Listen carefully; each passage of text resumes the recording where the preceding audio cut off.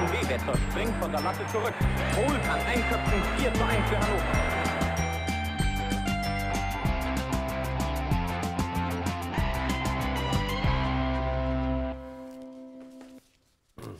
Ja. Hallo und äh, ach, da ist unser Bild. Hallo und herzlich willkommen zum ähm, Club der Roten Dichter. Es ist ein bisschen her, man braucht ein bisschen eine Erinnerungshilfe, äh, was wir sind, wer wir sind, was wir hier machen. Hallo, ich bin Matthias. Benjamin, guten Tag. Freut mich sehr, Hallo, freut mich sehr. Aber ich habe das Gesicht schon mal gesehen, ich kann das Ja, zuordnen. ja. Redest du nicht im Fernsehen öfter über Hannover 96? Ja, du doch auch, oder? Ja, Deswegen so, haben wir uns doch jetzt zusammengetroffen, ne? Ja, welcher Zufall. Ist ja verrückt. Ach, das ist das jetzt hier. Okay, sehr gut. Also, dann Ja. wissen wir Bescheid. Dann ist das, was habe ich gesagt, der Club der, der Roten Dichter. Natürlich, der Club der Roten Dichter. Hallo und herzlich willkommen. Und was wir alles äh, hier reden, ist egal, weil wir haben auch einen Experten heute dabei, also mindestens einen, der ist uns aber jetzt schon mal zugeschaltet in, ich nehme an, in Köln und zwar in einem Museum, wie wir sehen, in der neuen Ausstellung von Caspar David Friedrich, der ja auch viele Fotos gemacht haben soll. Niklas, grüß dich. Absolut richtig. Hallo, guten Abend. Sehr gut. Ja, schön, schön, dass du da bist. Schön, dass du als einziger dir das Hemd extra zugemacht hast bei den Temperaturen. Oder ist es bei euch tatsächlich anders in Köln? Nee, es ist, es ist richtig warm. Es ist, Okay. ich bin gerade mit dem Fahrrad nach Hause gefahren und äh, Club der Roten Dichter, vielleicht sieht man es noch ein bisschen, ist auch in meinem Gesicht noch Ja, äh, die, die Farbe der Wahl, ja. Jetzt bist okay. gerade, ja, vom, vom Stadion Hannover brauchen wir auch ein bisschen mit dem Fahrrad nach Köln, ne? Aber hast du noch rechtzeitig geschafft. Richtig. Sehr gut. So. Sehr gut. Ja, dann muss ich kurz nachschauen. Das hier ist eine, eine Sendung zum Anrufen. Genau, ich erinnere mich dunkel. Eine Sendung zum Anrufen. Also warum machen wir hier so einen Blödsinn? Weil wir halt zwei Wochen Pause hatten. Zwei Wochen Pause. Gar nicht so gerne teilweise, aber es hat sich halt so ergeben. Wir hatten eine Woche, ja. Länderspielpause, mittlerweile von uns sehr geschätzt. Und dann wurde ja das Spiel nach der Länderspielpause, das halt meistens mittlerweile gut ist, wie wir das ja jetzt wissen, äh, gegen Magdeburg äh, gespielt, aber eben an Ostern und weil wir zu dem Zeitpunkt am Montag noch nicht alle unsere eigenen Eier gefunden hatten. Ne? Die Magdeburger mussten drei aus dem Tor rausholen bei sich. Wir hatten et etwas schwieriger, zumindest was das Suchen angeht. Deswegen waren wir Montag, am Ostermontag also auch nicht hier.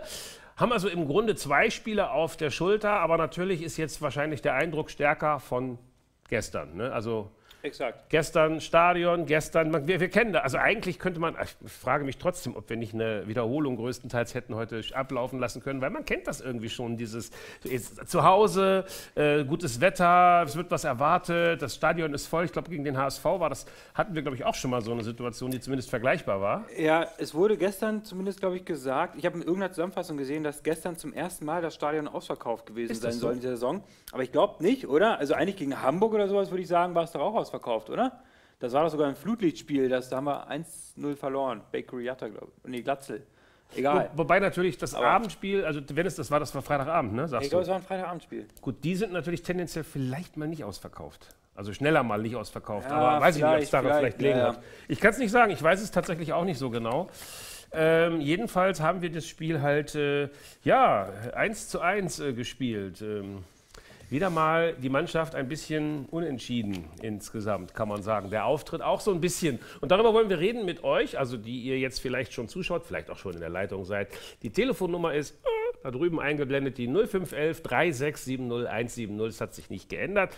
Da könnt ihr jederzeit anrufen, auch wenn wir gerade mit jemandem hier telefonieren, weil wir draußen ja eine Redaktion haben, die euren Anruf erstmal entgegennimmt und dann sozusagen vorbereitet, vielleicht euch auch erst zurückruft, wenn es ein bisschen länger dauert. Also kein Problem, ruft an, seid dabei, sprecht mit uns über die beiden, ja, über die beiden Spiele könnt ihr euch auslassen. Ähm, naja, und natürlich die spannende Frage, die wir wirklich schon mal genau so hier hatten, ne, mit dem Glas halb voll, halb leer, das hatten wir doch, glaube ich, wirklich erst vor ein paar Sendungen. Das ist ein Thema, Frage- das haben wir häufiger, ne? ja, ja, das und tatsächlich, ja. Ja, ist so, wir haben es häufig. Naja, weil wir uns in dieser Saison halt immer wieder so knapp unterhalb der Aufstiegsbereiche bewegt haben. Manchmal so dicht dran, dass nur noch ein Sieg meistens gereicht hätte, dass wir dann wirklich mal wieder ernsthaft mit drin gewesen wären. Und jetzt an diesem Wochenende haben nun unsere vermeintlichen Konkurrenten, also Düsseldorf und Hamburg, beide gewonnen. Ja. Das heißt, hätten wir jetzt ja, dranbleiben wollen, wären drei Punkte tatsächlich in dem Falle wichtig gewesen. Das heißt nicht, dass alles unmöglich ist, ne? weil zweite Liga ist verrückt und es kann alles passieren. Es gibt noch ein paar Pünktchen. Also natürlich könnten wir auch locker noch auf den dritten Platz landen. Ich glaube, auf dem zweiten wird schwierig, ne? Zweiter wird schwer, ja, die sind elf Punkte weg, die Den Kieler. braucht man sich, glaube ich, nicht ich mehr glaube, ich glaube, erträumen. es geht, es geht um Platz drei. Also wenn, dann Ähm, könnte es nur der dritte Platz sein. Genau. Und der ist natürlich jetzt auch ein deutliches Stück äh, unrealistischer geworden.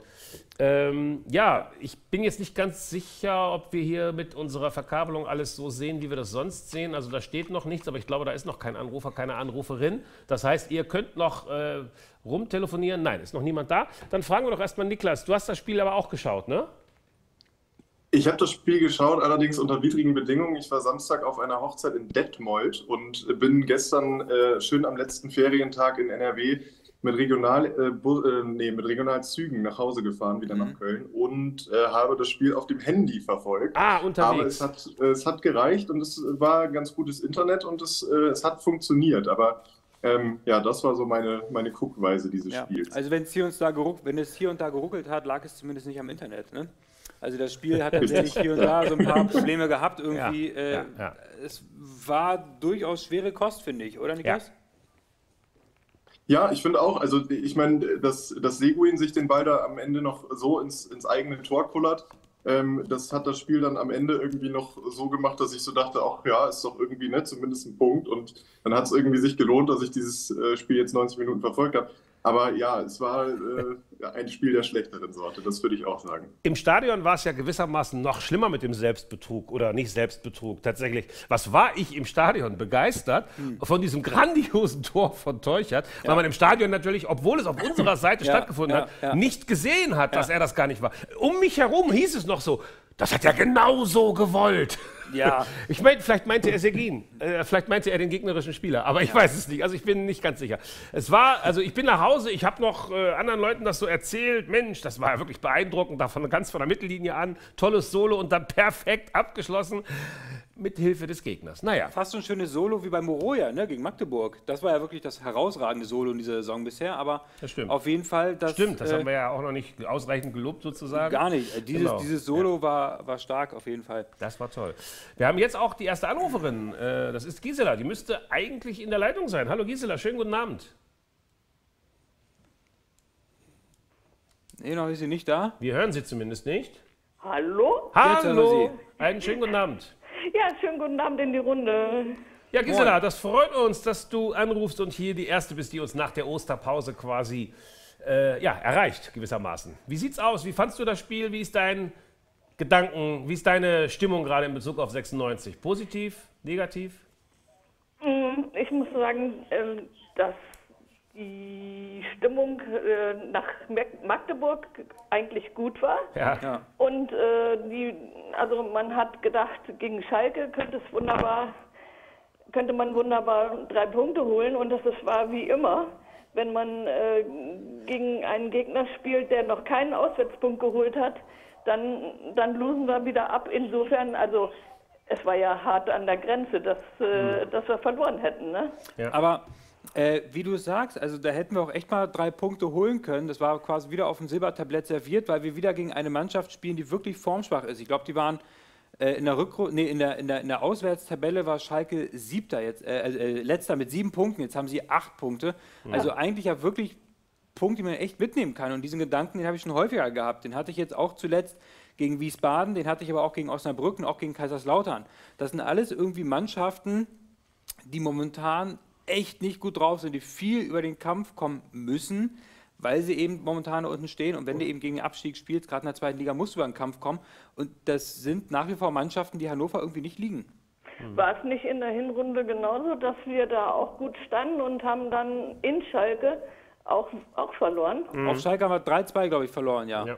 Ja, Aber genau. Da Ja. war Schalke, glaube ich, noch nicht ganz so, noch nicht ganz so in Ja, dieser- da war Schalke in so einer Findungsphase. Ja, ja, ne? genau. Und dann irgendwann nach Jetzt der haben sie sich Findungsphase, gefunden. äh, jetzt haben sie sich gefunden und stehen ganz unten mit dabei. Ne? Ja.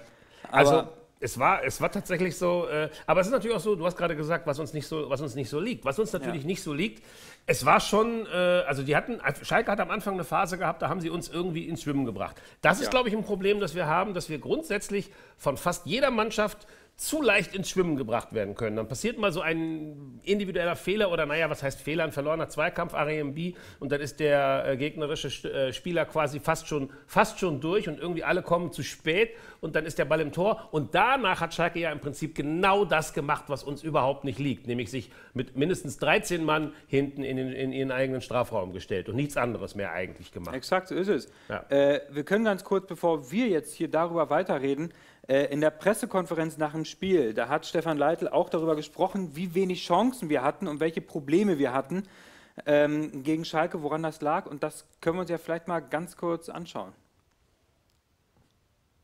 Du siehst ja, dass die, dass die Jungs wollen und, und wirklich ähm, immer wieder versuchen äh, anzuschieben. Ähm, es ist unheimlich schwierig, dann diese Situationen und Schalke hat eine wahnsinnig robuste Mannschaft, wenn du dann nicht sauber im Passspiel bist, wenn du ähm, wenn du 1-1-Situationen nicht kreieren kannst, wenn du keine Tiefe dann auch äh, bespielen kannst, dann wird es natürlich auch schwierig. Und ich glaube, das hat man gesehen, dass wir da Probleme mit hatten.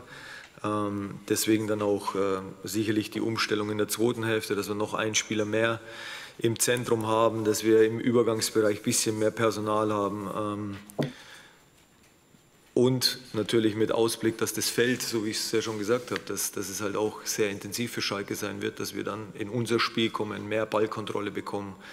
Ähm, ich glaube, dass uns das dann schon gelungen ist. Ähm, grundsätzlich ja, haben wir uns viel vorgenommen und konnten vielleicht das nicht ganz so erfüllen, wie wir es wie wir's wollten. Tja, Gisela, würdest du sagen, dass es die Aufstellung auch so ein bisschen war, weil er hat ja gerade selber gesagt, erste Halbzeit hat es eigentlich nicht so geklappt wie gewünscht. War das die Aufstellung, die du dir gewünscht hättest?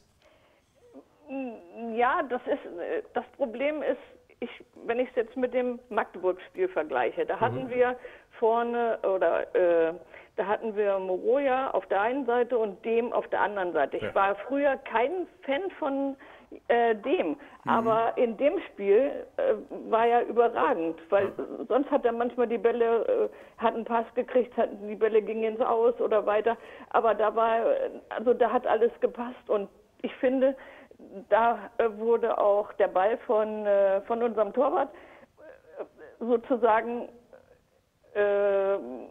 auf die Spieler nur nicht, nicht hoch und weit.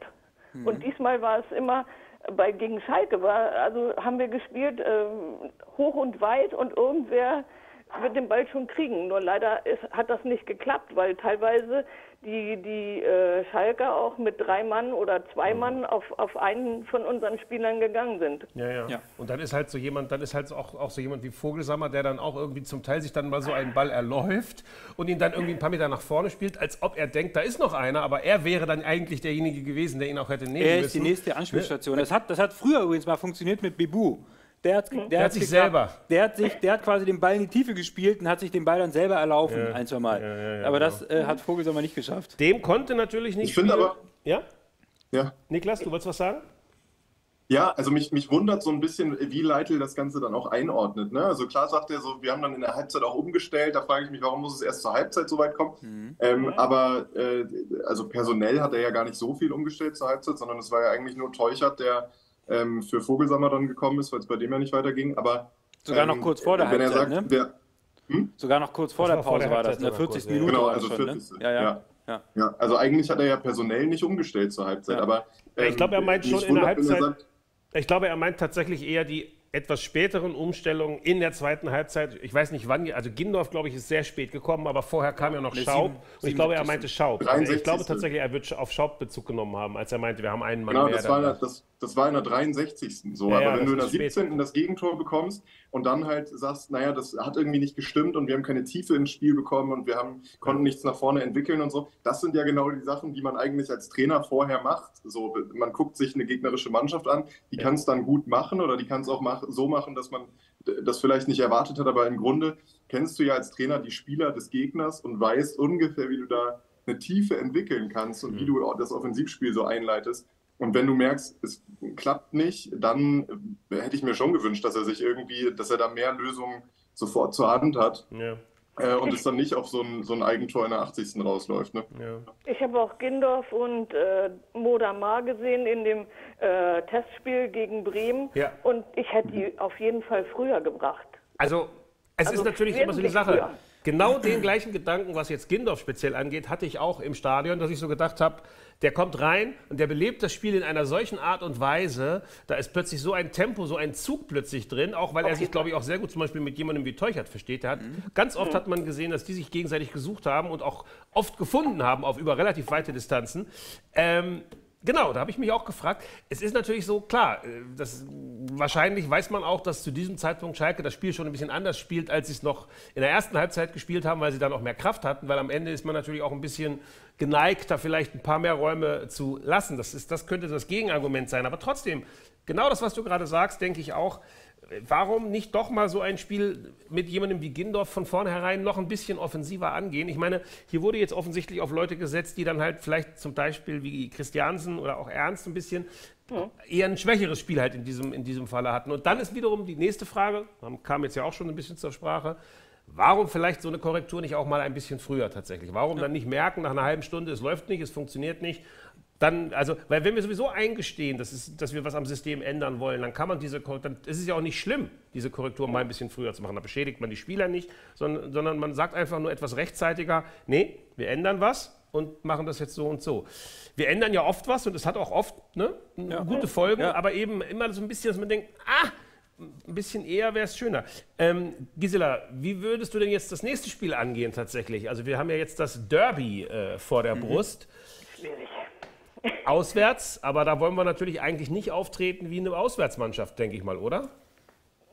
Definitiv nicht. Also im Prinzip äh, offensiv. Ja. Und, und, und wie gesagt, die, die Auswechslungen früher vornehmen. Ja, ansonsten, das ist es.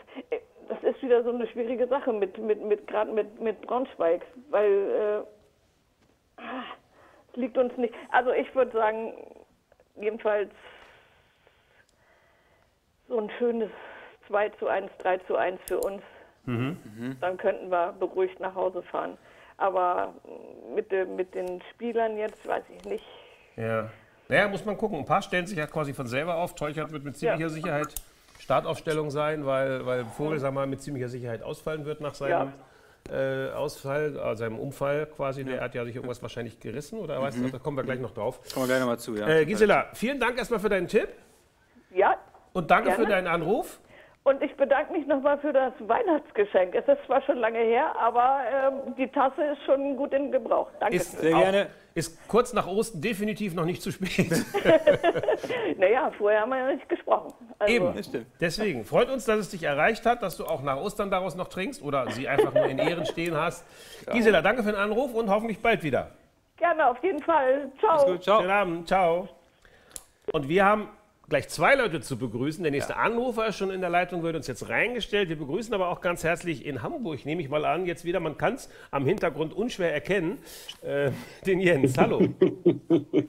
Hallo, ich grüße euch. Du hast das Spiel gestern, äh, wie hast du es gesehen? Auch in, äh, hast du das Spiel auch in vollen Zügen genossen, wie Niklas? Ein Ja, Witz, habe den du jetzt äh, nicht verstehst. zwei Spiele, hab zwei Spiele genossen, eins im Stadion, wobei genießen nun ja, das war nämlich das HSV-Spiel gegen Lautern vor Mhm. vollem Haus.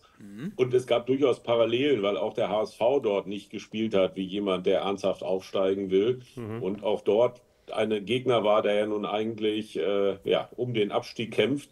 Und da muss man sagen, Lautern hat sogar besser gespielt als der HSV in der ersten Hälfte. Die waren mit mehr Engagement dabei, nur dass der HSV es dann eben hingekriegt hat, das Ding zu gewinnen, was wir nicht geschafft haben. Ja, ich habe es am Fernsehen gesehen, so richtig genießen, finde ich, war das jetzt nicht.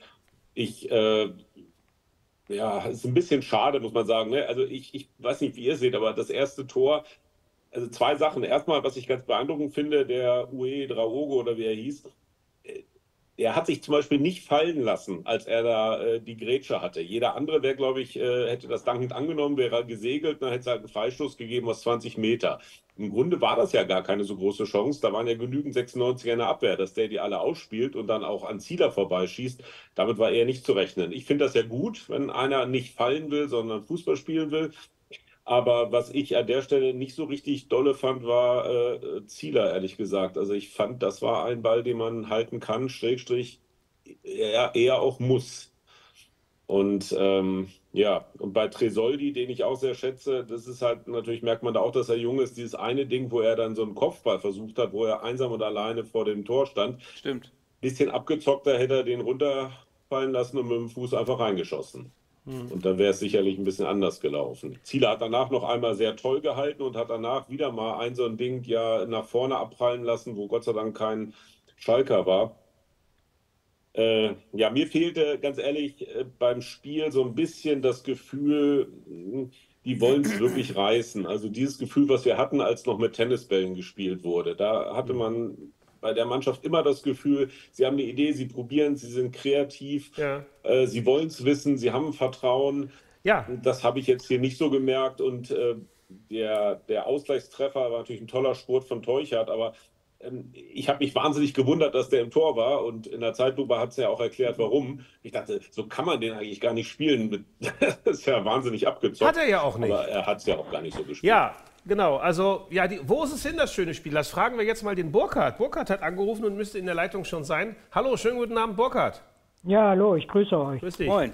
Verm- Geht es dir auch so? Vermisst du auch dieses relativ schöne 96-Spiel, was wir, glaube ich, noch vor wenigen Wochen hier auch be bewundert haben, wo man bei jedem Spiel dachte, oh, das sieht aber alles ziemlich gut aus. Ein bisschen ist doch von dieser Leichtigkeit abhanden gekommen, oder? Was meinst du? Naja, ich bin nicht so ein Superoptimist, der gleich bei einem äh, Sonnenstrahl eine ganze Sonnenperiode draus macht. Ich finde schon, äh, dass wir gegen äh, tiefstehende Gegner äh, Probleme bekommen. Ja, ja, das ist richtig. Das stellen wir immer wieder fest, leider, ja. Das ist so, ja. Ich weiß, ich weiß nicht unbedingt, ob es äh, an der Einstellung, sprich von Herrn Leitl liegt. Denn mir fällt auf, so wie wir offensives Pressing in unser Spiel bekommen, haben wir es leichter, Torchancen herauszuspielen. Und das offensive Pressing hat mir gegen Schalke speziell in der ersten Halbzeit gefehlt. Da haben wir viel zu tief wieder gestanden. Ja. Außerdem, äh, wie ich schon vor Magdeburg sagte, unser kreatives Mittelfeld äh, lässt ein bisschen zu wünschen übrig. ja. Übrigens äh, bin ich der Meinung, beziehungsweise habe das in der äh, Pressekonferenz nach dem Spiel gehört, die Umstellung von Herrn Leitl bezog sich auf Ernst, den er in der ersten Halbzeit als LM und in der zweiten Halbzeit auf die Acht gezogen hat. Ah, also noch gar nicht auf eine, einen Spielerwechsel, sondern einen Positionswechsel. Ah, ja, gut. Genau.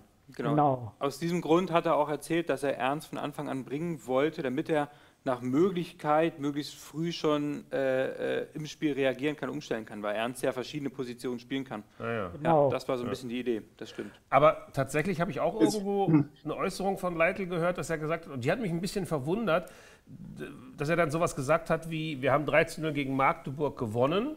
Und nach dem Spiel wurde ja in der Presse sehr viel darüber geredet, Mensch, wir sind variabel, wir haben hier ein ganz anderes System gespielt und das war gut. Ähm, aber dann hat er jetzt, mein, meine ich, also gelesen zu haben, dass er gesagt hat, da stellt man ja nicht wieder alles um, jetzt im nächsten Spiel. Dabei ist es ja doch ein anderes Spiel und, und die Frage ist, war das nicht vielleicht tatsächlich der Fehler? Also weil offensichtlich wurde dann wieder dieses, lass mal den Gegner ein bisschen machen und dann schaffen wir schon unsere Chancen, Spiel äh, gemacht. Und äh, wäre das, was nicht du gerade angesprochen hast, dieses, wir gehen mehr, schneller drauf, nehmen ihnen den Ball ab, wäre das nicht schlauer gewesen? Ja, ja, ich glaube, das hat, das hat Gisela, glaube ich, noch am Anfang irgendwie gesagt gehabt, dass man irgendwie schneller draufgehen soll. Ich weiß übrigens nicht, ich, inwiefern das jetzt clever ist, tatsächlich schon vor dem Spiel zu sagen, wir stellen nichts um. Weil dann kann sich ja Schalke ziemlich gut drauf einstellen, ehrlich gesagt. Aber Niklas wollte auf ich jeden Fall weiß noch nicht, was ob er das vorher gesagt hat oder ob er das Ja, doch, Nach- doch, doch, hat doch, vorher das hat, gesagt. Vorher Ja, hat er ja. noch gesagt, ja, es Ach gibt so. nicht so richtig Grund, viel umzustellen, aber ist okay, wir sind ja. natürlich nicht so richtig in die Karten schauen lassen, aber natürlich, damit hat er quasi alles gesagt. Niklas Ich was glaube, ich glaube, da drehen wir uns, glaube ich, im Kreis, weil wenn er dann, also wenn er nichts umgestellt hätte, äh, oder nein, wenn er nichts umstellt, dann sagen wir, warum hat er denn nicht? Ja. Und wenn er was umstellt, dann sagen wir, der hat doch so gut funktioniert, warum, warum stellt er denn was um? Also ich glaube, das ist immer so ein bisschen ne, die, die Leiden eines, eines jeden Trainers. Was ich aber eigentlich sagen wollte, ist, Burkhard, du hast gesagt, und das fand ich schön, äh, ich mache aus einem Sonnenstrahl äh, noch lange keine Sonnenperiode. Ich finde aber, es war doch deutlich mehr als ein Sonnenstrahl dazwischendurch. Ne? Also es war zwischendurch ja wirklich mal guter Fußball und das ging ja auch wirklich über so ein paar Spiele und da waren es Kunze und Leopold im, im Mittelfeld, äh, die das, finde ich, gut gemacht haben. Da haben die Abstände gestimmt. da gab es eben diese Tiefe, die Leitl jetzt gestern vermisst hat. Ähm, und äh, ich verstehe nicht so richtig, also abermals, ne, so wie ich das in den letzten Jahren auch häufiger mal nicht verstanden habe, wie sowas dann abhanden kommen kann. Weil eigentlich studiert man sowas ja ein und dann läuft es irgendwann und dann, dann äh, verliert man das auch nicht so schnell wieder. Na gut, Ja? ich bin da vor, vor Magdeburg schon mal drauf eingegangen. Äh, das sind natürlich auch noch junge Spieler Ja. und die haben ihre Schwankungen drin. Und Herr Leitl ist halt ein kleiner Schisser, finde ich.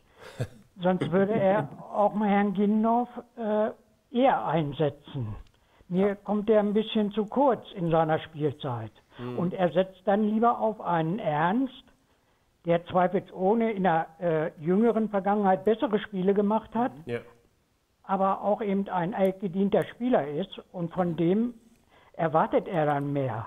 Ja. Aber äh, im Moment hat auch Ernst wieder ein, zwei schwächere Spiele gemacht. Ja. Und so hätte man es durchaus mal mit Ginnow äh, versuchen können, zumal der von anderen Vereinen angefragt wird. Ne? Also das würde ich, würde ich tatsächlich auch sagen, spätestens ab dem Moment, als dann Teuchert auch drin war, weil wie gesagt, das funktioniert, glaube ich, ganz gut mit den beiden. Ähm, ähm, ähm, du wolltest, glaube ich, Ja, was- was, was ja auf jeden Fall in diesem Spiel. ich weiß nicht, was ich sagen möchte, sag du mal was. fiel nur auf. Ja, ich, äh, mach, mach du mal. Nee, also was, äh, was mir aufgefallen ist, das war wieder ein klassisches Spiel. Ich meine, äh, wo wir gesagt haben, gegen einen tiefstehenden Gegner und der individuell natürlich eine gewisse Klasse hat. Ich meine jetzt auch hinten in der Abwehr mit Kaminski, äh, Callas und davor Seguin, das sind natürlich auch drei Spieler, die sind individuell ziemlich gut, aber eben auch sehr robust. Und es ist richtig, ich glaube, weiß nicht, ob du das gerade noch gesagt hast, Burkhard oder Gisela eben noch, wir hatten eigentlich immer den Ball, den wir relativ mit also einem hohen Ball nach vorne gespielt haben. Und da hatten wir eben Tresoldi beispielsweise, Vogelsammer auch, aber äh, vor allem auch Tresoldi, der eben körperlich nicht ganz so krass robust ist und wir dann eben viele Zweikämpfe verloren haben. Und gerade in der ersten Halbzeit hatte ich den Eindruck, dass wir quasi gar keinen dieser ganzen entscheidenden Zweikämpfe gewonnen haben. Und hier würde ich mir nicht nur einen Lars Gindorf eigentlich wünschen, sondern in der zweiten Halbzeit wurde es dann auch besser. Ab dem Moment, wo wir nicht mehr über die langen Bälle versucht haben zu agieren, sondern mehr über die Technik kommen wollten. Schaub ist technisch sehr viel, also ist, ist ein sehr, sehr guter Spieler, auch sehr viel beweglicher als beispielsweise ein Vogelsammer.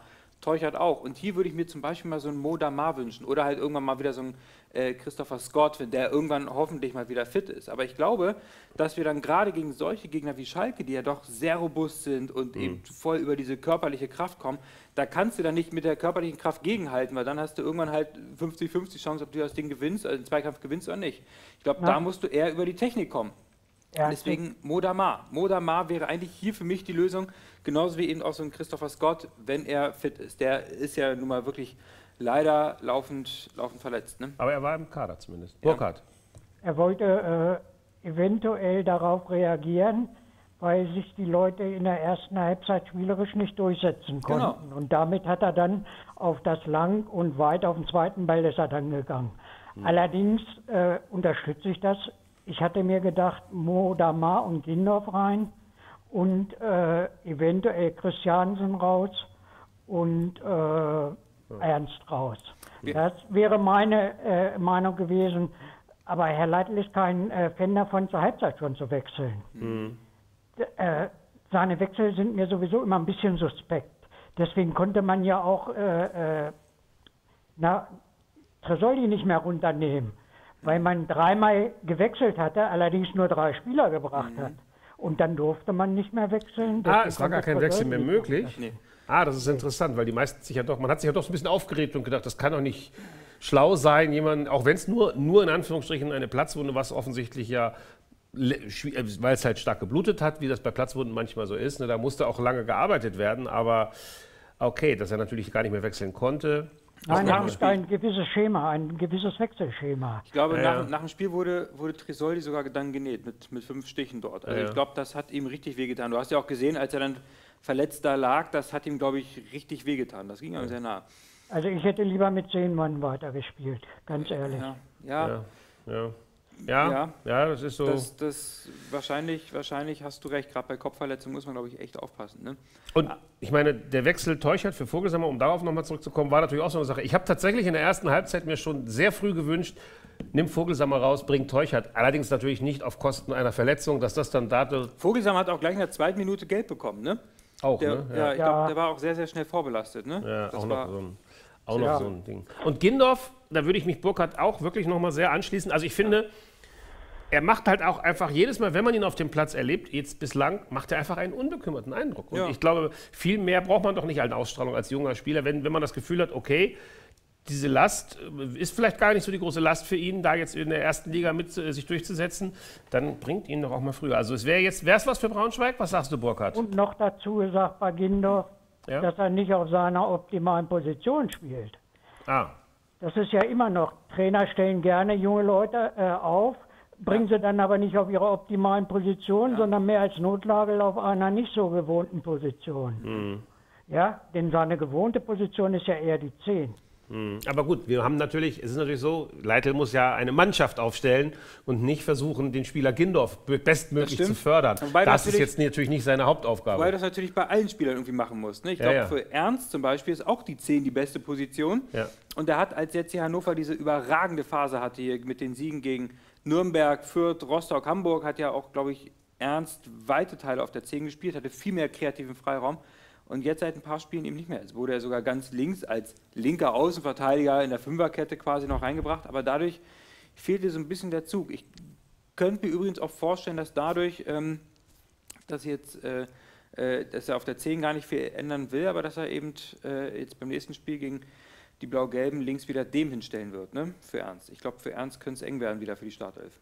Da gehe ich von aus. Ja. Ja. Ja, für Braunschweig, äh, wie gesagt, hochpressen, eine gute Restverteidigung aufstellen Ja. und äh, den Angstbolzen aus der Hose nehmen, den Ja. wir meistens gegen die Blau-Gelben drin haben. Ja, wobei Aber ich Hinspiel haben, den wir, Sieg. Hinspiel haben wir sogar noch gewonnen 2-0, ne? Ich glaube, äh, Ja, da gut, das war, äh, da hätte man 6-0 gewinnen können. Müssen fast, müssen. Hm. Da hat Kunze hat, glaube ich, ein Tor gemacht und dann das zweite von Halzenberg war ein Elfmeter, glaube ich. Also so das, würde ich allerdings auch annehmen. Ja, also das, ja, stimmt. Kunze, wie genau, das wollte ich auch noch fragen. Wie hat dir eigentlich Christiansen gefallen? Nicht nur jetzt gegen Schalke, sondern auch davor gegen Magdeburg. In Magdeburg hat er mir gut gefallen, obwohl ich nicht sein Freund bin, weil er mir viel zu langsam ist. Aber gegen äh, Schalke äh, konnte man getrost auswechseln, sage ich mal, ohne dass man was verkehrt gemacht hat. Ich habe gegen, gegen Magdeburg immer gedacht, warum nimmt Leitl ihn nicht raus? Weil er hat ja dann auch relativ zügig eine gelbe Karte bekommen.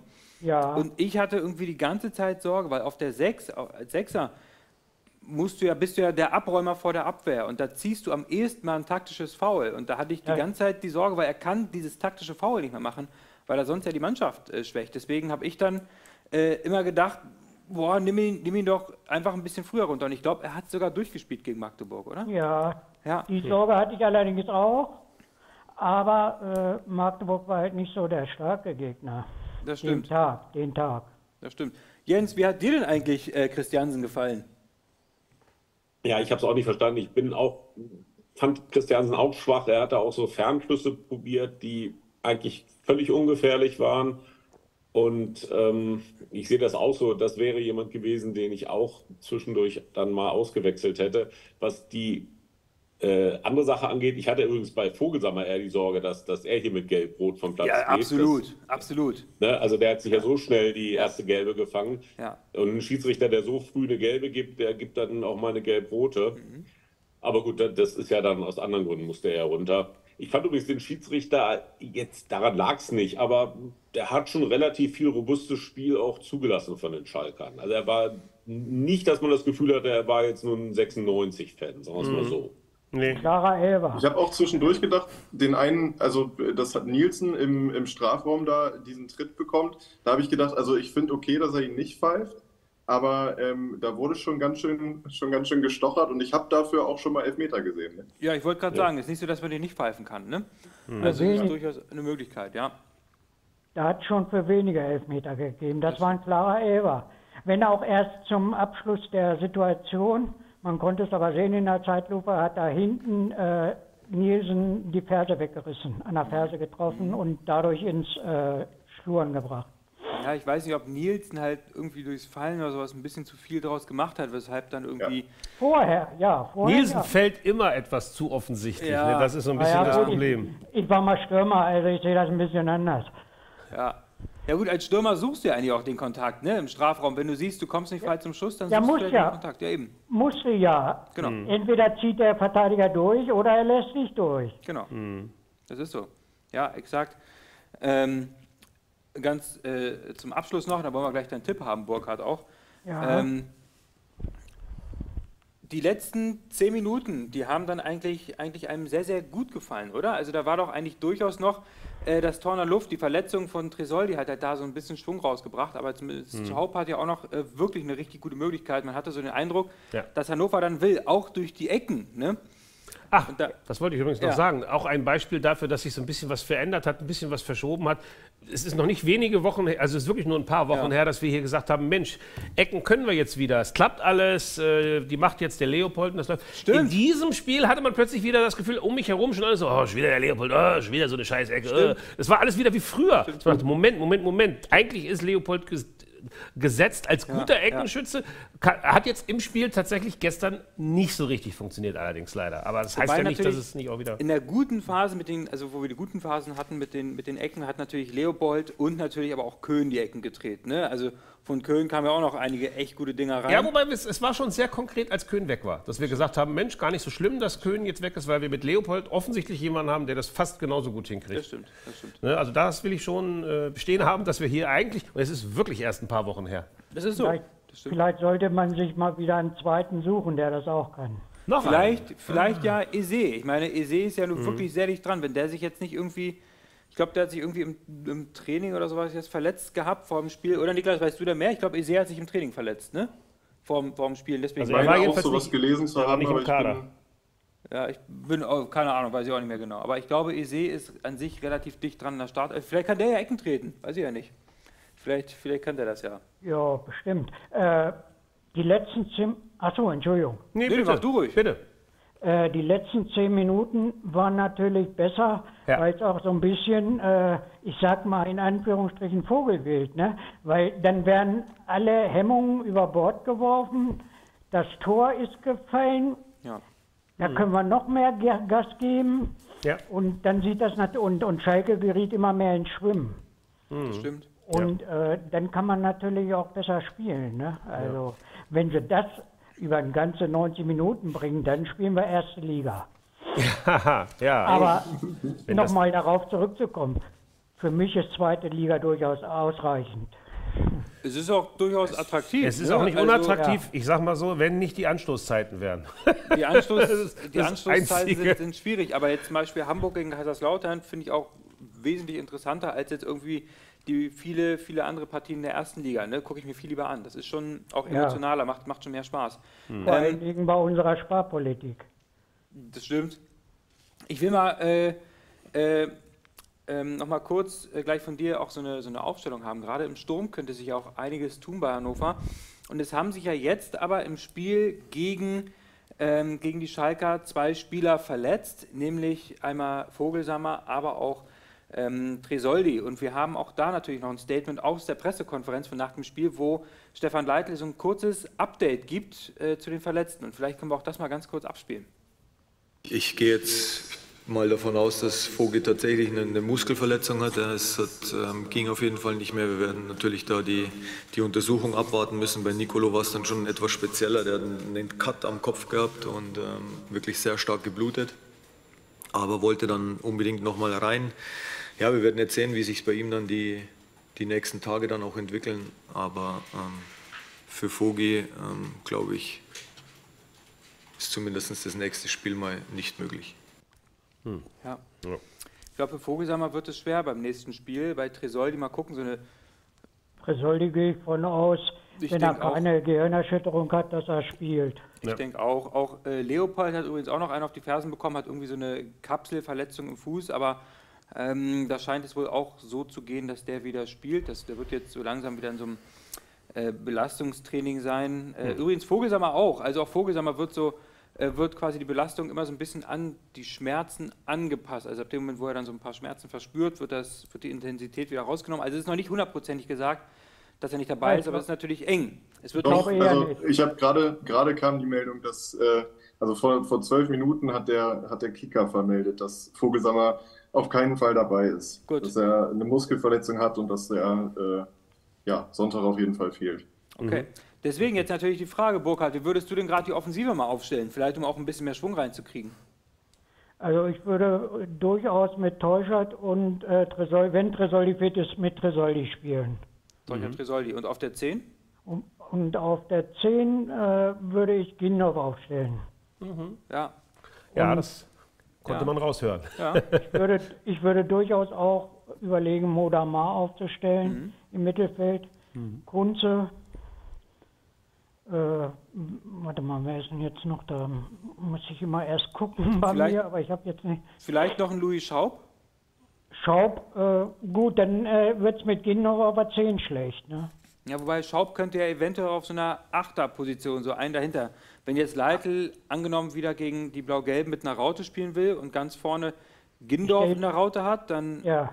dann hatten wir auf der 6 Kunze, wen hatten wir noch? Damar und, und dann eben Schaub. Damit hätte er natürlich dann sehr viel Technik wieder. Ach so. Leopold dann. Leopold, ja, ja, stimmt, der fehlt natürlich auch noch, ja. Also ja, Ne, also so und äh, leider wird, ich meine, nach dem Magdeburg-Spiel wird er Herrn Dehm wieder einsetzen. Äh, sonst hätte ich mir vielleicht auch gewünscht, dass äh, äh, Eze da mal anfängt. ja.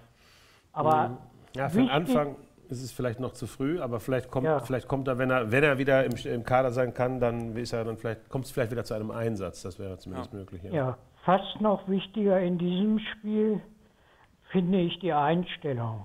Ja. Auch und Einstellung äh, als äh, die, die Personen selbst. Mhm. Weil äh, Braunschweig wird brutal zur Sache gehen, denke ich. Also ich meine das jetzt nicht Ja. Verletzungs in Kauf nehmen, sondern die werden richtig ackern, denke ich. ja, ja. Ich glaube, für die kommt das Derby auch genau zur richtigen Zeit. Ja, Weil es Nach geht für die 5-0? wirklich um alles. Die wollen nicht absteigen. Die haben 30 Punkte, da unten ist es verdammt eng. Magdeburg ist auf Platz 12 mit 32 Punkten. Die sind nur zwei Punkte weg. Und vor allem, mittlerweile äh, muss man auch wieder Osnabrück richtig ernst nehmen. Die sind nur noch sechs Punkte weg von dem Relegationsplatz. Also Ja. lass sie jetzt das nächste Spiel mal gewinnen, da wird es auch nochmal richtig heiß. Ja, Ähm, und auch Fall. bei Kaiserslautern hast du auch gesehen, dass die gegen Hamburg, wie Jens es gerade schon gesagt hat, die haben richtig gut gespielt gegen Hamburg. Also auch die können dieses Spiel durchaus, äh, das nächste Spiel auch gewinnen. Also Die deswegen, das Derby kommt für, für die Blau-Gelben genau zur richtigen Zeit. Die haben sehr gut gespielt, Kaiserslautern in Hamburg. Ich habe Ja, das Spiel auch gesehen. gut. Ich kann leider nur noch am Fernsehen gucken, aber so Ja. gewisse äh, Dinge kann man da ja auch rausziehen. Ja, gib uns mal deinen Tipp jetzt für das äh, Spiel gegen Braunschweig. Mal unabhängig davon, dass wir hoffen, dass so aufgestellt, vielleicht so aufgestellt wird, wie du gesagt hast. Aber was glaubst du denn, wie es ausgeht? Ja, gegen Magdeburg hatte ich 2-0 für uns getippt, da haben wir 3-0 gespielt. Äh, gegen Braunschweig tippe ich immer einen Sieg. Das geht gar nicht anders. Ich bin 63 Jahre roter, also immer ein Sieg. Jawohl. Und wie hoch, wie hoch gewinnen wir? 1-2. 1 zu 2, wie Gisela. Ja. Okay. Ja. Aber es ist schon knapp dann, ne? Also, äh, Ja, warum gut. tippst du nicht Äh, höher? das wird immer ein enges Spiel normalerweise. Wie gesagt, selbst Ja, ich schauen will, wir ich will mal. keinen unterbrechen. Ne? Nee, selbst, mal. selbst beim Hinspiel war es ja eigentlich ergebnistechnisch knapper, als eigentlich der Spielverlauf es hergegeben hätte. Ne? Ja, Da genau. wir, wie du gerade schon gesagt hast, hätten wir eigentlich auch 5 oder 6-0 gewinnen können. Aber gut, wir haben auf jeden Fall den Tipp, Burkhard. Dann vielen, vielen Dank dafür. Danke für den Anruf. Und Danke euch. Einen schönen Abend und wir freuen uns, wenn wir wieder von dir hören. Okay. Jawohl. Tschüss. Mach's gut. gut. Ciao. Tschüss. Und jetzt Darf- kommen darf wir. ich euch zwischendurch was fragen zum Thema, was uns wirklich interessiert, nämlich der Optik. Kriegt ihr denn noch Geld von Brainhouse 247? Weil das Trikot liegt da noch so gut sichtbar. Ich wollte da jetzt auch drauf eingehen. Ich wollte jetzt mit unserem nächsten Anrufer auch endlich die wirklich wichtigen Themen ansprechen, nämlich das Ü. ja, Das Ü auf dem Trikot, das neue. Und wir haben uns gesagt, das ist ja jetzt alles ganz neu. Und die haben das im Spiel auch irgendwie so provisorisch sich da irgendwie, glaube ich, draufgetackert. Ich glaube, Ja. RMB ist es nach vier Minuten abgefallen. Ja. Der hat dann weiter für Brainhouse gespielt. Deswegen hat er auch die Anbindung an die Mannschaft nicht gehabt, weil er dachte, Moment, die haben ja sein. andere Es Trikots mit an. unterschiedlichen Trikots gespielt, Genau. ja. Äh, genau. Deswegen das. machen- genau. Ümo heißt das neue Logo. Ümo, ja, wir nennen es einfach nur Ü, deswegen geben du genau, es, so guck mal aus, ja. Deswegen bauen wir uns das jetzt hier auch schnell selber, genau wie 96 das gemacht hat. So ein breites grünes. Grinsen. Übrigens, das Ding tatsächlich nur Sponsor bis zum Ende der Saison. Danach wird gesucht, oder wird geschaut, wer zur nächsten Saison kommt. Ich glaube, rund 150.000 Euro kriegt Hannover noch dafür. 300.000. Nee, 300.000 hätten sie noch von Brainhouse bekommen. Nee, Aber ich, glaube, bin mir relativ sicher. Also Ja? ich habe also Ey, ich hab okay, jetzt, kann ich hab heute in der Das- Zeitung gelesen, Ja. sage ich mal so, vielleicht stimmt das nicht, aber ich Ja. meine in der Zeitung heute stand definitiv 300.000 Euro ist das Geld, was wir jetzt von der Östra kriegen für diese letzten. Umso besser. Und ähm, bei Kicker steht also 96 solle 1,5 Millionen pro Jahr bekommen vom Brainhouse und Ja. es sei in dieser Saison nichts gezahlt worden. Nee. Äh, äh, Kind hat aber gleichzeitig gesagt, insolvent sind sie nicht, was auch interessant ist. Das klingt ein bisschen Ja. nach unserem Wirtschaftsminister. Sie zahlen nicht, Ja. aber sind nicht insolvent. Na gut. Ja. Ja. Ich, ich finde dieses neue Logo übrigens interessant. Ich, ich habe es ja nicht mitbekommen im Vorfeld und ich dachte die ganze Zeit, das ist das alte TUI-Logo, Ja. was zu viel gegessen hat am Das- Buffet und dann ist ihm schlecht geworden. irgendwie sich den Mund zu voll geschlagen hat mit irgendwas, genau. Nee, aber deswegen, wir sind jetzt Gott sei Dank verbunden mit unserem Modeexperten Nick, der uns dazu jetzt auch mal kurz eine Einschätzung geben kann. Nick, wie gefällt dir denn das Ümo? Erstmal Hallo in die Runde. Moin. Hallo. Es erinnert mich so ein bisschen an Ghostbusters, die Fratze vom Slimer. Ah, Stimmt. stimmt. Ja. Naja, so haben wir ja gestern auch gespielt.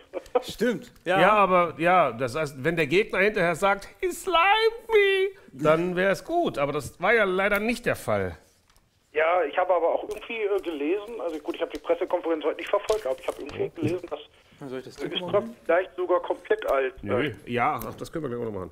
Können wir das gleich hier raufkleben, nämlich. Du weißt ja, Nee, ich wollte das natürlich deinem Trikot hier, dir, dir das verpassen. Ach hier so, mir wollte es verpassen. So, aber eins ja. brauchen wir noch für das offizielle so, Trikot, damit, fürs- wir, fürs damit wir offizielle. wissen, so sieht es ja nun nicht mehr aus. Na gut, ich mache noch eins, ja. Okay. Eins brauchen wir noch. Ja, äh, Nick, red ruhig weiter. Lass dich nicht stören von unserem Also, kleinen. ja, wie gesagt, zum Spiel, ähm, ich ganz ehrlich, Katastrophe bis hin, würde ich sagen, grenzt schon an Peinlichkeit.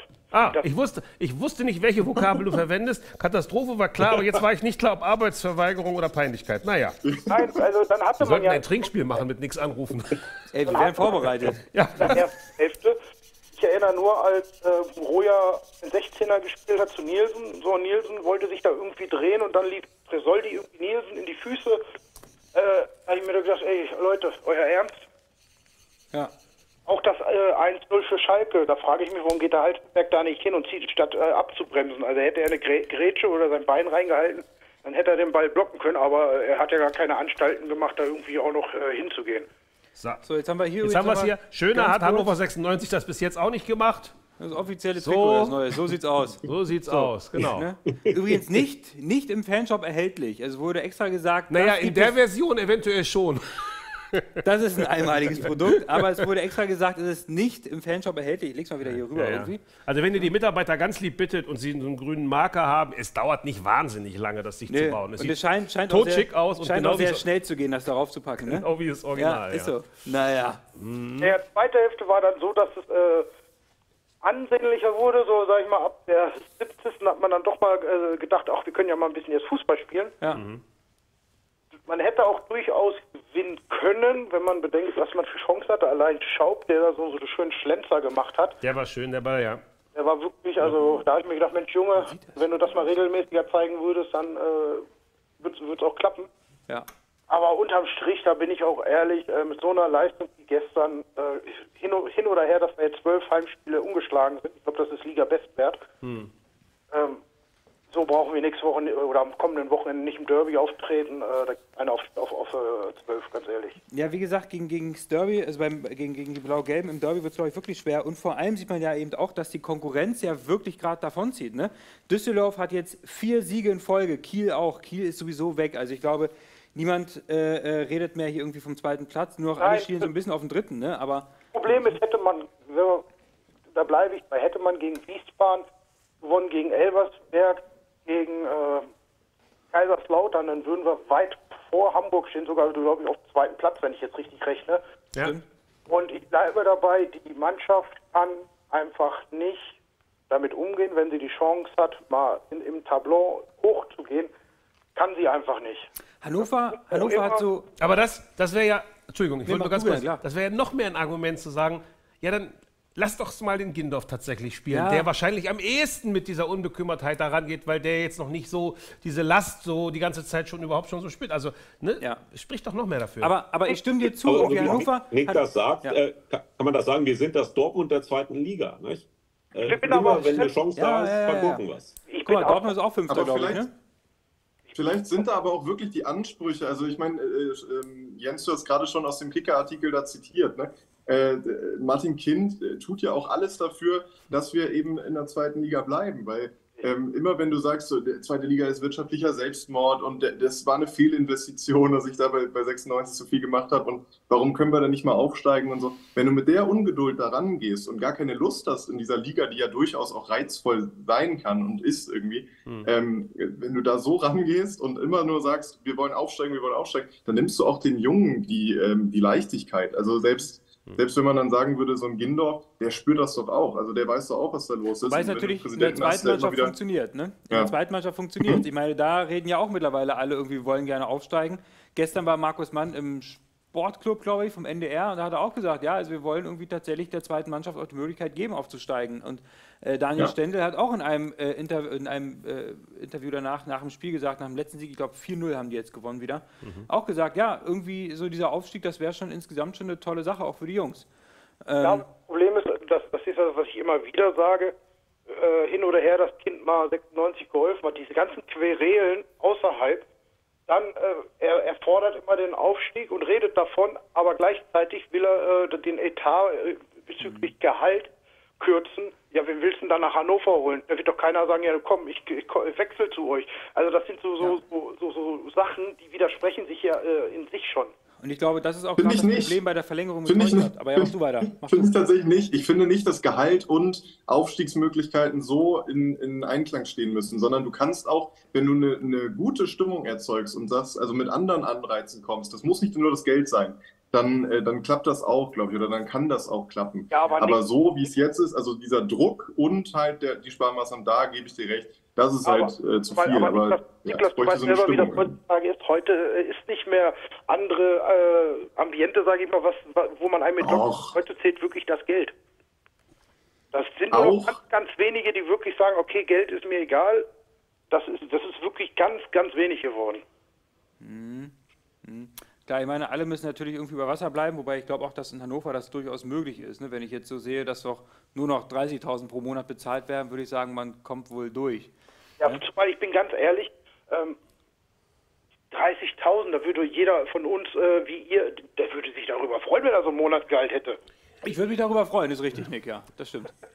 Aber ähm, wie gesagt, man, erstens ist es das und zweitens, dann musst du auch Spieler holen, die der Trainer vielleicht auch haben möchte. Mhm. Und das ist auch noch so ein Kernproblem bei 96 seit Jahren, sei es bei Slomka gewesen, sei es bei Zimmermann gewesen, sei es bei äh, Kutscher gewesen. Die haben eine gewisse Vorstellung von Spielern, die sie gerne haben möchten. Und dann kommt ein Kind, sagt, nee, ist zu teuer, nee, dann holen wir lieber den, den. Ja, dann kannst du auch nicht äh, irgendwelche Ziele stecken.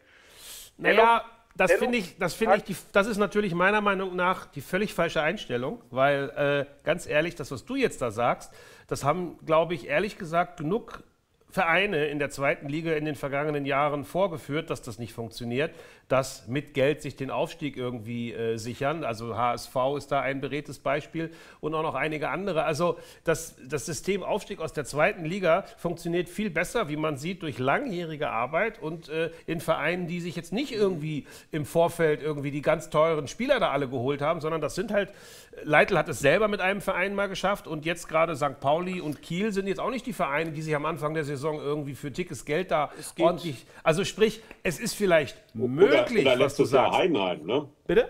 Heidenheim. Heidenheim. Aber Heidenheim es, ist, halt zu, es ist halt viel zu teuer. Und auch immer noch. Dafür ist es, ja. es ist, also das, was du gerade vorschlägst, oder der, der Weg, den du hier propagierst, ist, glaube ich, und da würde ich sofort Kind zustimmen, wenn er das wahrscheinlich sagt, nee, der ist zu teuer, um dieses Risiko einzugehen, weil die Sicherheit, dass es tatsächlich klappt, hast du ja trotzdem nicht. Ich meine, guck dir die Bayern im Augenblick an, die haben auch eine super teure Mannschaft, trotzdem reißen sie in dieser Saison wenig. Also sprich. Nee, es geht ja gar nicht ums Finanzielle, es geht sondern darum, dass man äh, Spieler haben wollte, die 96 durchaus auch bereit gewesen wäre zu zahlen. Nur, dass dann ein Kind sagt, nee, äh, den Spieler möchte ich nicht, weil der ist von der und der, äh, nee, nicht äh, gut. Und das äh, ist auch kein Geheimnis. Das weiß fast jeder, der sich mal äh, mit, mit äh, Slomka oder so unterhalten hat. Also das ist definitiv auch kein Geheimnis. Und ich denke mal, da muss 96 dran arbeiten. Wenn man wirklich um den Aufstieg spielen will, kann man andererseits aber nicht einen Sparkurs anfahren. Und damit hat Kind sich schon mal ein Eigentor geschossen. Weil Ja, ich, ich glaube nur, im Augenblick haben wir relativ viele Spieler, die wir so einigermaßen haben wollten. Und wir haben mit Markus Mann jemanden, bei dem wir auch das Gefühl haben, der kriegt schon eine ganz gute, einen ganz guten Mittelweg hin zwischen diesem, ne, wir wollen nicht zu viel Geld ausgeben, aber wir wollen auch nicht äh, nur irgendwie Leute holen, die keiner haben will, sondern der, der ist schon ganz gut eigentlich in dieser Position. Ja, ja, das- ist ja auch richtig, aber das Problem ist, wer gibt ihnen vor, wie viel er ausgeben darf? Das ist nämlich der andere Punkt. Ja, Naja, wenn, wir, wenn man sich bei uns mal anguckt, die, diese vier Siege in Folge, äh, da haben die doch einen Fußball gespielt, wo wir alle gesagt haben, ja, so ist es. Das macht Spaß. Und das war die Mannschaft. Also im Grunde kann man doch sagen, eigentlich könnten sie es. Dann kann man die Frage stellen, woran liegt es, dass sie es nicht auf den Platz bringen? Ich Ja. kann das natürlich nicht beurteilen. Aber äh, am Spielermaterial, in Anführungsstrichen, also an den Menschen scheint es ja per se nicht zu liegen. Ja, wobei natürlich tatsächlich Also- genau die beständig, ich glaube, soweit, so wenig Ahnung ich immer wieder behauptet zu haben, aber die Beständigkeit eines Spielers, dass er relativ wenig Schwächephasen äh, in seiner Karriere hat, das ist natürlich gerade etwas, was mit Qualität zu tun hat. Also ich glaube, es ist für eine Mannschaft wie Hannover 96 relativ normal, gerade aufgrund unserer äh, Gehaltsdimensionen, dass wir halt Spieler haben, die gut sind, aber die nicht jede Woche garantiert super gut sind, weil sonst wären sie schon bei anderen Vereinen, sonst wären sie in der ersten Liga. Sie müssen halt so gut sein, dass man mit ihnen gut arbeiten kann und hoffentlich möglichst oft durch eine gute Mannschaftsleistung dann, dass vielleicht auch mal ein paar Spieler ausgleichen, wenn ein anderer Spieler mal vielleicht nicht so guten Tag hat. Das ist halt immer besser natürlich. Aber ich glaube, du kannst es nur so auf dem Wege machen. Dass du, du, du, du leb, musst eben damit leben, Aber- dass Spieler auch mal einen schlechten Tag haben. aber es liegt natürlich auch immer an den, an den gegnerischen Spielern. Ne? Wenn wir jetzt sehen, diese richtig gute Phase, die wir hatten, Jens, die du angesprochen hast, diese vier Siege in Folge, die hatten wir gegen HSV, unmittelbarer Konkurrent, die hatten wir aber eben auch gegen Fürth, damals auch noch unmittelbarer Konkurrent. Auch Nürnberg hat sich in dieser Phase da relativ weit oben mit äh, bewegt. Nur Rostock war quasi die Ausnahme, die war relativ weit unten. Aber ansonsten, das waren quasi alles Mannschaften, die relativ weit oben waren, die mitgespielt haben und da konnten wir es eben. Aber jetzt, Schalke ist eben eine Mannschaft, die auch qualitativ gut ist, die aber ganz weit unten stehen und sich voll reinmauern, wo wir jetzt sogar echt über von, äh, von Glück reden müssen, über- glücklich sein müssen, dass wir da noch einen Punkt überhaupt äh, mit äh, so hier lassen konnten. Ne? Also daran liegt es natürlich auch immer an den, an, den, an den Gegnern halt. Ne? Wie viel lassen die zu? Vor allem, ich frage mich, das ist mir gestern aufgefallen, wir haben ja erst mit Dreierkette gespielt und ich habe schon in den ersten fünf Minuten gesehen, dass das überhaupt nicht funktioniert. Und da habe ich dann auch gesagt, ich so, äh, was macht Leitl da gerade gegen Schalke, wo man weiß, sind auswärts schwach, die schwächste der Liga. Warum lasse ich die dann, warum spiele ich dann mit einer Dreierkette? Weil man, man wusste ja, dass Schalke eine Mannschaft ist, gerade Karel Gerrit, Gerrit der macht es gerne, immer schön auf äh, Pressing. Da, diese Formation war in, für die erste Hälfte, auf Deutsch gesagt, vorn Arsch. Das hat man von der ersten Minute, Minute angesehen, dass Schalke genau das gewollt hat. In der zweiten Hälfte wurde es dann ansatzweise mit der Umstellung auf Viererkette wurde es dann besser. Aber auch da hat Schalke natürlich, muss man einfach anerkennen, die Räume gut dicht gemacht. Man muss natürlich auch mal Glück haben, dass äh, Paul Seguin seinen Fuß da reinhält und den Ball natürlich dementsprechend noch gut für uns abgefälscht hat. Aber ähm, kannst das, das kann nicht die, die, der Anspruch sein, gegen schwächere Gegner nur ein Unentschieden rausholen. Natürlich. Nein, das ist so. Und du kannst, du kannst nicht sagen, mit dem Aufstieg hat es nicht geklappt, weil aber jetzt Wien Wiesbaden hat auch echt ein gutes Spiel gegen uns gemacht, ne? Oder Osnabrück, oder Schalke, oder Kaiserslautern. Also das, das, das darf halt, wenn du aufsteigen willst, darf das halt nicht das Argument sein, warum es nicht geklappt hat. Aber du musst ja auch mal sehen, wenn du jetzt die Statements von Markus Mann, auch wieder Sportclub beim NDR jetzt hörst, oder eben auch von Stefan Leitl, ey, ehrlich gesagt, sind wir doch voll im Soll.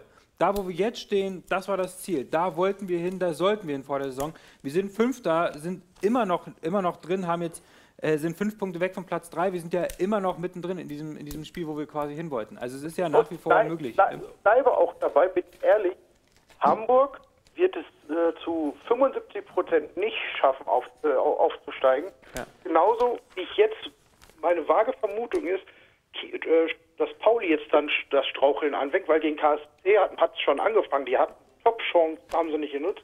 Jetzt haben sie eine Niederlage gekriegt. Das kann natürlich so einen psychologischen Knick jetzt verursachen. Und dann weiß man ja, wie es ist. Dann bricht man ein. Ja, mal gucken. Apropos Einbruch, psychologischer Knick, jetzt kommt der ganz harte Einbruch. Wir brauchen deine Vorhersage fürs nächste Spiel, äh, weil wir aufhören müssen sonst gleich. Ich, ich, ich ich bin ehrlich, ich glaube, äh, das wird nichts am Sonntag und sage, äh, die komische Stadt gewinnt 0-2. Die Tut mir leid, also ich habe da wenig Hoffnung, wenn sie nicht da sich jetzt unter der Woche zusammenreisen. Okay, nehmen wir ich mit.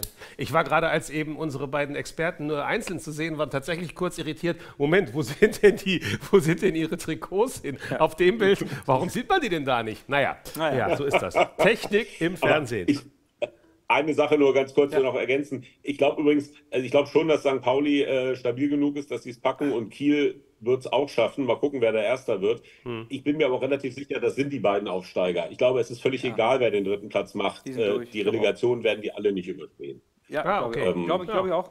Glaube ich auch. Schauen wir mal. Fürchte Gut, ich auch, ja. dann jetzt mal ein bisschen fröhliche Musik. Zum passend, so halbwegs passend zum Spiel. Jawohl.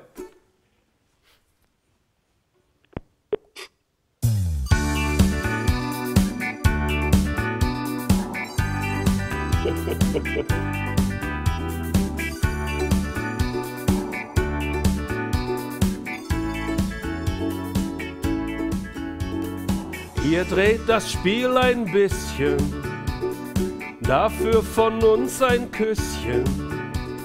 Mit mehr rechnen wir eh nicht, trotzdem ein bisschen wenig für die Kornstein. Was soll das sein? Könnt ihr diese guten Sachen nicht auch mal früher machen? Ein paar gute Minuten lasst ihr sogar Tresoldi bluten. Gebt euch doch mehr Mühe, am besten auch mit dem Ü. Ich weiß nicht, was soll ich fühlen, schon wieder unentschieden. Bin ich damit zufrieden oder will ich mehr? Ich weiß nicht, was soll ich fühlen. Ich bin wie ihr unentschieden. Könnt ihr nicht besser spielen? Oder wollt ihr nicht? Ja, wir können auf jeden Fall besser. Das machen wir nächste Woche. Das war der Club. Ich bedanke mich ganz herzlich. Jens, Niklas Jawohl. Und schöne Musik ist schon wieder vorbei. Und Ben natürlich. Bis nächste Woche. Ciao. Vom W-Wetter springt von der Latte zurück. Holt an Einköpfen 4 zu 1 für Hannover.